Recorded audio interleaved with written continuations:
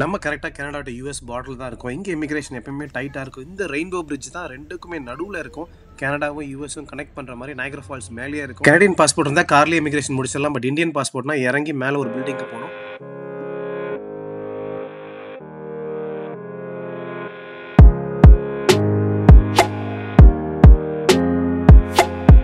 Drive பண்ண root எல்லாமே பயங்கர சீனிக்காக இருந்துச்சு.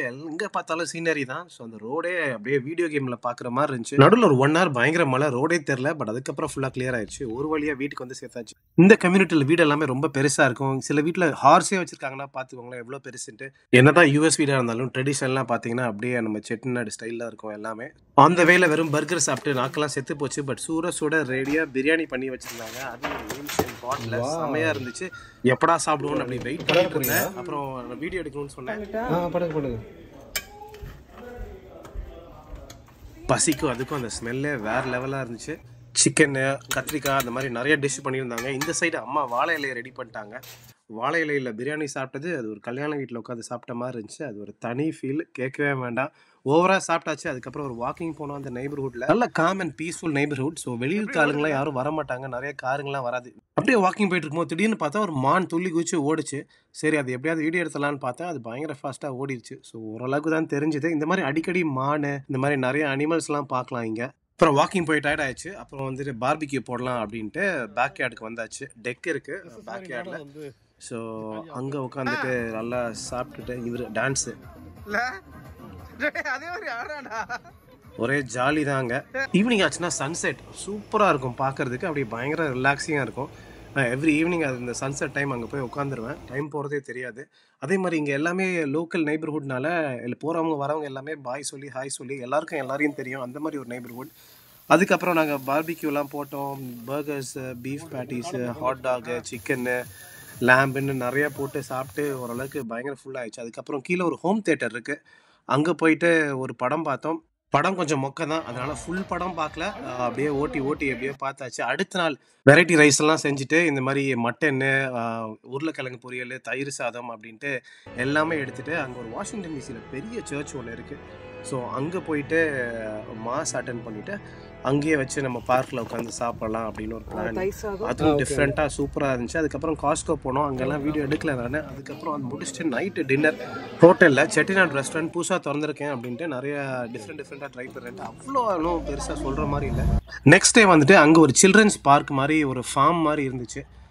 சரி அங்கே போகலாம் அப்படின்ட்டு அங்கே நிறைய ரைட்ஸு ட்ரெயின் ரைடு அப்புறம் என்சாண்டட் ஃபாரஸ்ட் ஃபுல்லாக ஒரு ஃபாரஸ்ட் ஏரியா மாதிரி சூப்பராக மெயின்டைன் பண்ணியிருந்தாங்க. அதுக்கப்புறம் சினிமாக்கு இங்கே வந்து தியேட்டர் எவ்வளோ என்ட்ரன்ஸே இவ்வளோ பெருசாக இருக்குது வேறு லெவல் அப்படின்ற மாதிரி இருந்துச்சு.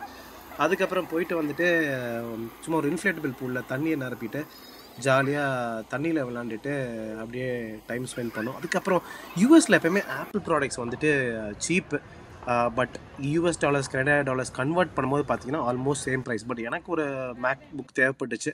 சரி அதனால் அங்கே போயிட்டு ஒரு மேக் புக் வாங்கினேன். ஃபோர் ஹண்ட்ரட் டாலர்ஸ் கம்மியாச்சு.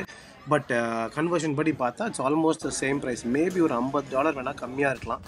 இதுதான் அது. சரி அன்பாக்சிங் பண்ணி ஒரு வீடியோ போடலாம்னு நினச்சேன். அப்புறம் வேண்டாம் அது எதுக்கு அப்படின்ட்டு. பட் சும்மா ஒரு அன்பாக்சிங் வீடியோ எடுத்தேன். பட் செம்ம லைட் வெயிட்டு இந்தியெல்லாம் வந்துட்டு எவ்வளோ பெருசாக இருக்கும் லேப்டாப் இப்போ வந்துட்டு இவ்வளோ லைட் வெயிட்டாக அதுவும் இந்த மாதிரி கலர் கலரெல்லாம் கொண்டு வந்துட்டானுங்க. அதுவும் பர்ஃபார்மன்ஸ் வந்து பயங்கர டிஃப்ரென்ஸ் பழைய லேப்டாப்க்கும் இப்போ புதுசாக வர லேப்டாப்க்கும் அடுத்த நாள் ஒரு லாங் டிரைவ் பால்டிமோர் லாங் டிரைவ்னு சொல்ல முடியாது. கிட்டத்தட்ட ஒரு forty five minutes drive but route பார்த்தீங்கன்னா அப்படியே கண்ட்ரி ரோடு மாதிரி இருக்கும்.